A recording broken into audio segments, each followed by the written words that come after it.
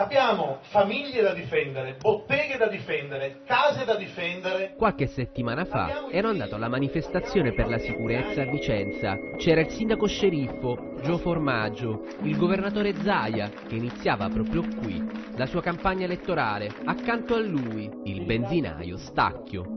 E c'era anche il segretario della Lega, Matteo Salvini. Ognuno ha diritto di difendersi come vuole, quando vuole e dove vuole, punto. Ad ascoltare sotto il palco uomini e donne di tutte le età e tra loro anche Daniele. Vai fuori la sera e hai sempre paura di trovare qualcuno che o ti dia una coltellata o che so io. Eh. Cioè tu vorresti il porto d'armi? No, io ce l'ho il porto d'armi. Tu ce l'hai? Io ce l'ho il porto d'armi. Così giovane? Eh, ho 23 anni ma ho il porto d'armi io. Tutti e tre ce l'abbiamo, io sono ancora più giovane io. Ma quanti anni hai? 18 io.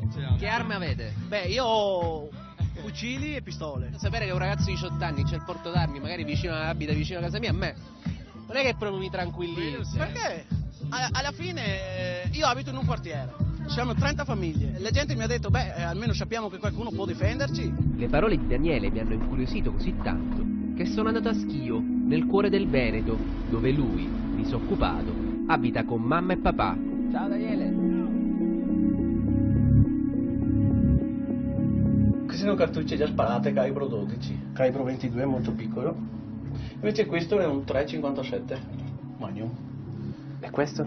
E quello è un tirapugni. Non l'hai Ma motorizzato? mai utilizzato. Però si sa mai nella vita. Cioè, là fuori c'è, là fuori è una giungla, quindi può capitare di tutto. Ma avete un gruppo, è vero? Cioè, Sì, sì, che, sì. avete tutti questa passione sfegatata per le armi? Sì, abbastanza. Abbiamo anche i radio. Qua. I radio per comunicare sempre. 07 a 04 mi ricevi introvertivo. Non credo però mi riceva.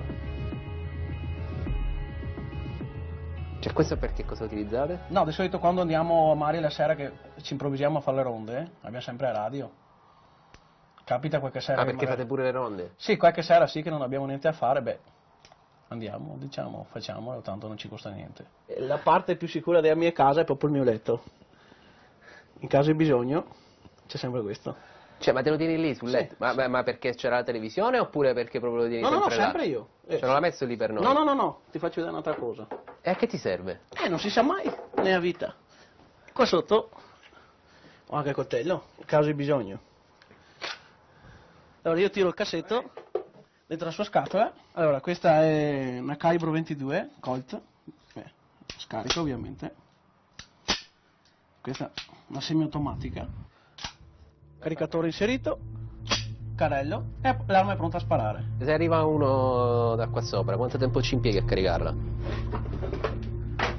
fuori e l'arma è carica basta fare così e l'arma è disarmata Ma questo fa male? Sì può uccidere. Ma perché c'è questa minaccia effettiva secondo te? beh eh, minaccia effettiva a me proprio no però con tutti eh, i furti che ci sono in giro eh, e quindi la necessità di avere un'arma in casa. E mm, proprio all'estremo difendersi per me è la prima priorità.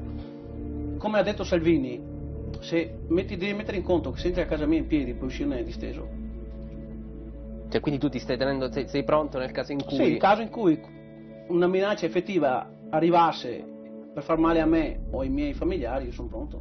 Preferisco andare in galera, però quello che entra non esce vivo.